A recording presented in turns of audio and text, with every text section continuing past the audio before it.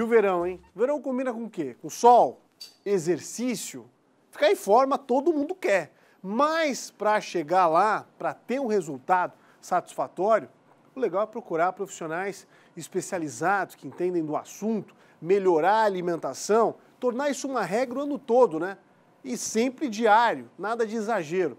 Necessário deixar a preguiça de lado e focar em um planejamento para chegar com uma vida bem saudável, não é não?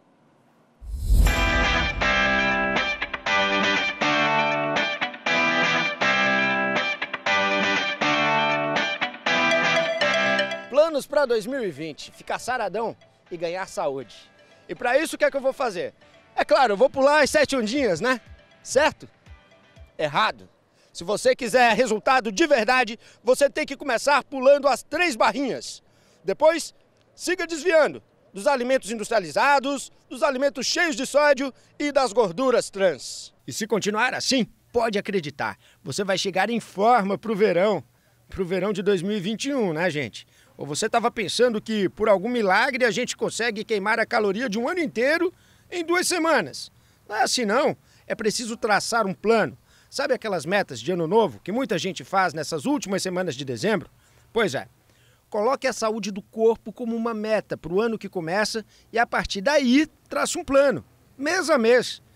Para isso, procure antes um profissional. Pode ser um personal trainer, como o Marcos, ele pode te ajudar a fazer um cronograma de exercícios. O ideal no treinamento, na atividade física, é a gente periodizar o treino, né? Então a gente organiza o treino por um longo prazo, um médio prazo, e a partir do, do perfil do aluno a gente vai direcionando e buscando os resultados que o aluno quer chegar, né? Primeiro passo é levantar da poltrona. Não tem outra saída não, gente. É preciso abandonar a preguiça em 2019. Acredite, eu sei que não é fácil, viu? Mas você pensa que o Ricardo sempre teve essa disposição aí? Como muita gente, eu comecei a fazer exercício físico quando a saúde apertou. Quando eu tive a primeira início de hernia de disco, encurtamento da hernia na coluna, foi aí que eu resolvi dar uma procurada para ver qual seria a solução, né? Seria basicamente ou fazer uma cirurgia ou começar, né, ter uma vida mais mais, digamos assim, ativa. Foi aí que eu comecei a voltar a buscar fazer exercício físico, buscar acompanhamento profissional e ter, consequentemente, uma vida melhor também. Segundo passo é cuidar da sua alimentação. Isso mesmo, aprender a comer direito. E olha, algumas dicas básicas podem deixar sua refeição muito mais saudável. Olha só. A primeira dica é tomar água. A água ela limpa o organismo, ela ajuda o intestino, ela hidrata, ela sacia a fome. 2, 3 litros de água por dia. O dia todo, sempre, né? Verão e inverno, mesmo sem estar com sede. Outra dica da doutora Cristiane: reduz a ingestão de carboidratos. Não precisa parar, não, hein? Não é nem saudável privar nosso corpo dessa importante fonte de energia. Mas tente comer alimentos ricos em carboidratos saudáveis e em horários específicos.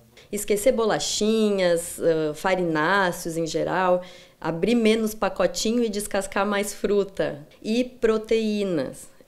Uma delas que é super saudável e que as pessoas às vezes não, não conseguem pensar nela como um lanche é o ovo. Na dúvida, claro, consulte um profissional. É claro que eu não vou ficar assim, né? Nem nos meus sonhos mais nerds eu vou querer ficar igual o Hulk, eu tô achando que ele andou pegando pesado demais. Eu só quero perder uns quilinhos, gente, é ganhar um pouquinho de músculo. Será que eu consigo? Bom, já conversei com o personal trainer, já visitei ali a minha amiga que é endocrinologista e agora nós estamos numa loja de suplementos alimentares, porque existe sim alguns truques que podem ajudar a gente a perder peso, né, Max? Casa, né? Não quer comer nada, faz um shakezinho é simples, é rápido, vai te fornecer aí uma série de fibras alimentares, né? A Caroline, que é nutricionista, separou aqui pra gente algumas opções, né? O que é que nós temos, Caroline? Isso mesmo, nós temos aqui então a pasta de amendoim, que é fonte de lipídio, ou seja, né, de gordura. Só que aqui a gente tem a fonte que é o amendoim. A gordura boa, né? Exatamente, junto com o cacau, ou seja, ele vai dar um gostinho ali para o seu lanche da tarde, uma boa opção para não deixar ali a sua alimentação muito monótona. Lembre-se, cada pessoa vai processar a queima de calorias de uma forma.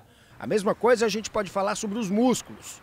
Ninguém vai ficar fortão da noite para o dia, nem seguindo a mesma receita. É preciso descobrir o seu próprio caminho para uma vida mais saudável. Mas uma dica é universal, hein? Deixe os antigos hábitos no ano velho. Ano novo, vida nova. Eu diria para começar com algo que a pessoa goste. Se é caminhar, caminha, não precisa caminhar uma hora, caminha 10 minutos. Se gosta de dançar, nem comece a dançar em casa, na frente da televisão. É, se gosta de, de correr, se gosta de jogar vôlei, se gosta de qualquer coisa, comece com 10 minutos cada dia. Então, assim, ó, faça atividade física, por favor, comecem o ano.